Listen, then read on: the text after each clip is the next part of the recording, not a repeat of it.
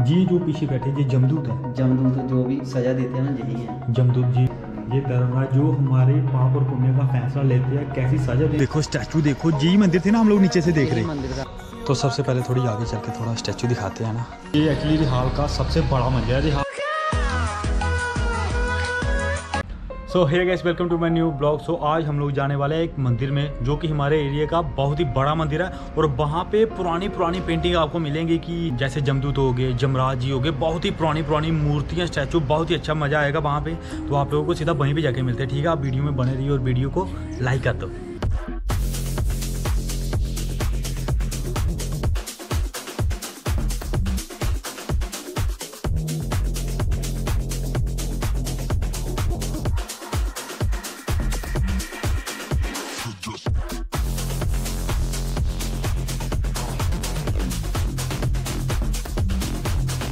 So guys आज हम लोग आए हैं बड़े मंदिर जो रिहाल का भाई बड़ा मंदिर है जी सबसे सबसे बड़ा। सबसे बड़ा जो मेन मंदिर है। हाँ तो सबसे पहले माथा टेक लेते हैं जहाँ पे। दुर्गादास जी के। जी। तो सबसे पहले हम लोग आपको दिखाएँगे हनुमान जी की मूर्ति जी देखिए इधर आओ। पहले घंटी जाते हैं। ये काफ़ी प्राचीन काफ़ी पुराना मंदिर है ना? ये देखो ना पेड़ जो पेड़ इधर सो गई जी आप लोग पेड़ देख सकते हो ये पेड़ ना बरगद का पेड़ है। बरगद का पेड़ है ना जो जिसे पीपल का पेड़ बोलते हैं हाँ, वही है ना ये देखो इन्होंने जो जहाँ पे मंदिर बनाया है तो इसको बीचों बीच इसके लिए जगह रखी है तो ऊपर से जो निकला हुआ है देखना पूरा यार किया हुआ है। मतलब जब उन्होंने बनाया था ना। ऊपर से है इसकी टहनी वगैरह निकली हुई ऊपर है तक बहुत बड़ा पेड़ है जी। दुर्गादास जी। हाँ तो गई जी दुर्गादास जी बाबा जी हैं। इनका भी आप लोग देख सकते हो ये ये एक्चुअली रिहाल का सबसे बड़ा मंदिर है। रिहाल वालों को किसी से भी आप पूछोगे ना कि बड़ा मंदिर कौन सा है तो वो यही बताएँगे। तो अभी इसके बाद चलते हैं वो दूसरे वाला जो बड़ा मंदिर है ना तो वहाँ बड़ा मंदिर है तो भाई वहाँ पे आपने देखा कि मैंने एक बार छोटा था कम से कम दस पंद्रह साल पहले गया था तो वहाँ पर पेंटिंग करके रखी है जैसे मरने के बाद आदमी के साथ इंसान के साथ क्या होता है जमदूत जो जमराज या जमदूत होते हैं पूरा का पूरा उन्होंने दिखाया होता है वहाँ पर भी क्या मरने के बाद बंदा कैसे काम करेगा क्या ऐसा ही मिलेगा आपको वगैरह और जो भी लेखा जोखा होता है ना हम करते हैं अपनी ज़िंदगी में कर्म हाँ। वो उधर दिखाए होते हैं। तो जी सामने गोलगप्पे की रेडी भी लगी हुई है। इसके पास इसके पास हम बाद में देखेंगे। सबसे पहले हम लोग जहाँ पे भी खाना चाहते थे। काफ़ी पुराना मंदिर है एक हज़ार आठ। तो अभी मैं तो सौ साल कह रहा था ये तो एक हज़ार से भी ज़्यादा है। बिल्कुल बहुत ही प्यारी लग रही है। तो अभी वो सामने वाला गेट आप देख रहे हो वो वहाँ पर भी बहुत ही बड़े बड़े स्टैचू है तो वहाँ पर आप लोगों को सीधा लेके चलते हैं ठीक है? तो मतलब अंदर से काफ़ी बड़ा मंदिर है ना जी? काफ़ी बड़ा मंदिर है वो तो वो ऊपर प्राचीन मंदिर है प्राचीन मंदिर है तो चलो अब इसके अंदर चलते हैं फिर अंदर जाके पूछ लेंगे अगर परमिशन देंगे तो वीडियो थोड़ी बहुत शूट कर लेंगे अदरवाइज़ फिर देखने तो काफ़ी अच्छा लग रहा है। मैं काफ़ी देर के बाद देख रहा हूँ।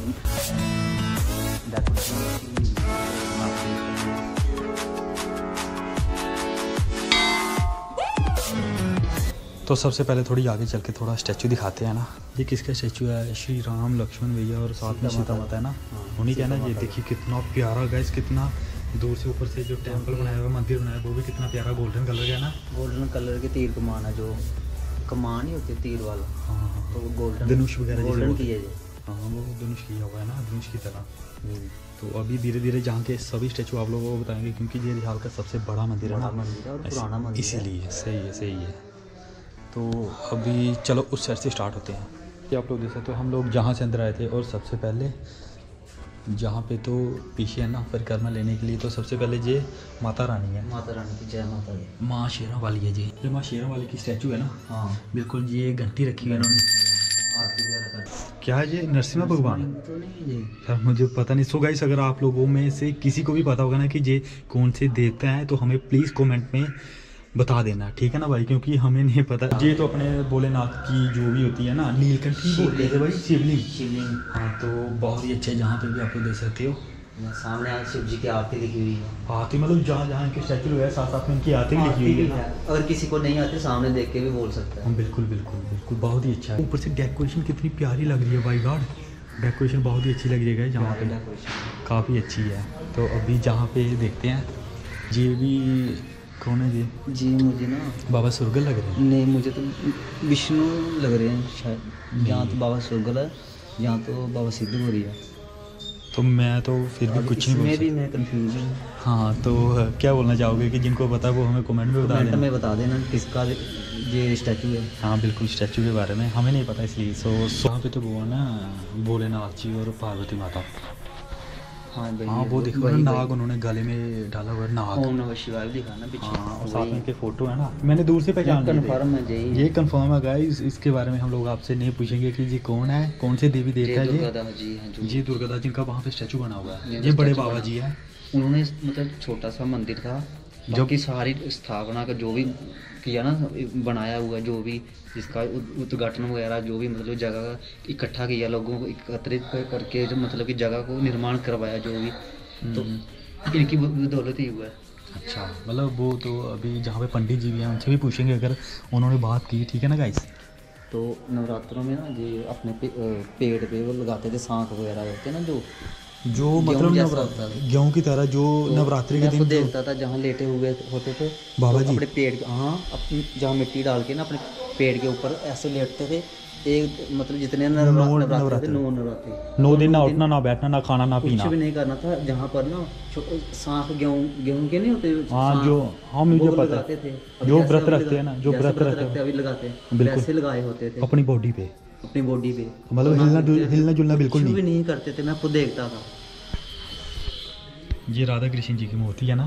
तो सामने क्योंकि कन्हैया जी को कौन नहीं पहचानता? दूर से उनकी बांसुरी का एक तो झूला भी है ना साथ में। हाँ बहुत ही प्यारा है यार सभी मूर्ति हमने देखी कितना प्यारा है। जो इनका गोल्डन कलर का है उधर ब्लू कलर का ऐसे मतलब डिफरेंट डिफरेंट और जहाँ पे शीशे का कुछ ज़्यादा डिफरेंट मोर मोर सो अभी हम लोग ऊपर जाने लगे हैं गाइस अभी भाई क्या बोलते हैं जो नीचे बाबा जी बैठे हैं ना पंडित जी उनसे भी परमिशन नहीं है उन्होंने बोला कोई बात नहीं आप लोग जा सकते बहुत ही प्यार से उन्होंने मतलब हंस के बात की है।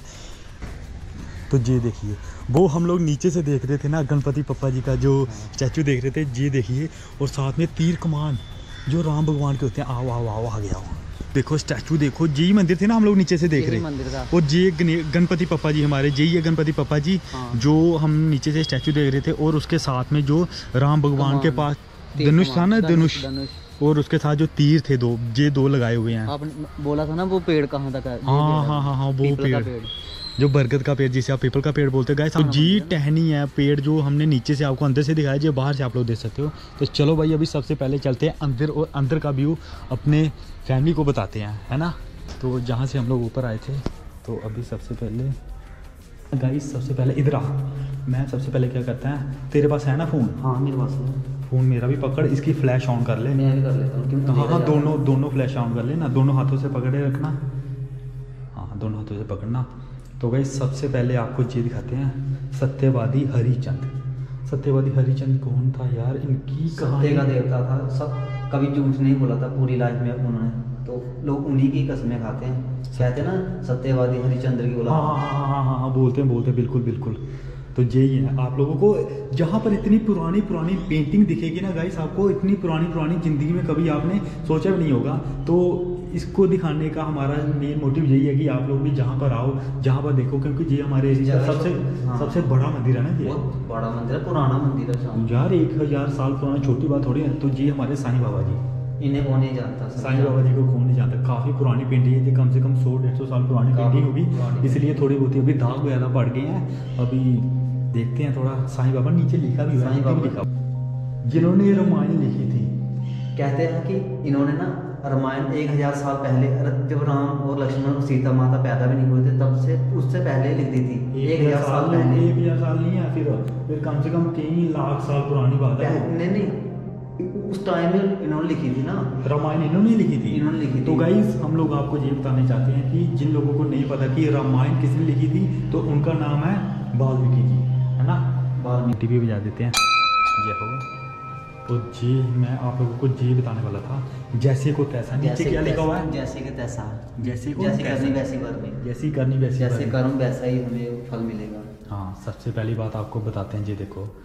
ये इनको मतलब ऐसे क्या बोलते हैं घोड़े की तरह ना घोड़े की तरह किया जैसे बैल आगे लगाते हैं बाहर लगाते हैं तो पीछे से मारते हैं तो आगे चलते हैं ना वैसे ही है। हाँ हाँ हाँ। रेडी वगैरह लगाई है। जी जो पीछे बैठे ये जमदूत है। जमदूत जो भी सजा देते हैं ना यही है। जमदूत जी भी जमदूत ही होंगे और ये भी ये देखिए जी वाले जमदूत हैं ये सामने आपको दिखाई दे रहे जो हैं भी हम पाप पुण्य वगैरह करते हैं ना हाँ हाँ हाँ। तो यही उनका हिसाब लेते हैं। जो बोलते हैं ना धर्मराज धर्मराज ये देखिए।